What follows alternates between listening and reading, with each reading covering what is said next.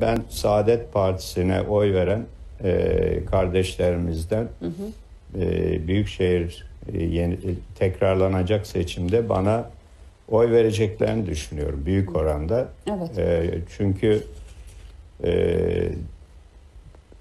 rahmetli Erbakan hocamız teknik üniversiteden benim hocamdır. Evet ben ondan çok şey etkilendim ve çok şey öğrendim.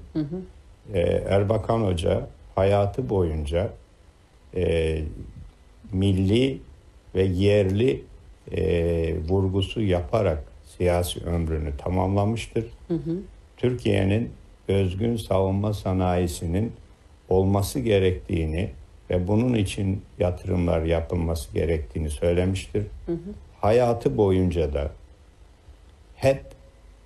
partisinin kapatılmasına karşı mücadele etmiş bir insandır.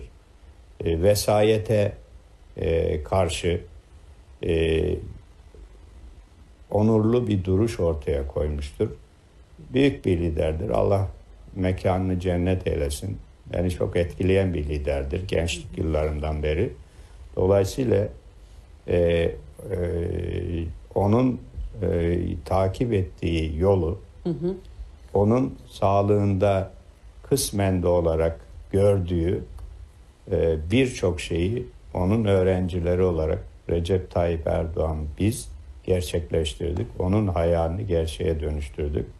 Bugün savunma sanayi yüzde 64 yerli oranla çıktı. Bugün artık darbe girişimlerinin karşısında ceketini alıp giden siyasetçiler yok.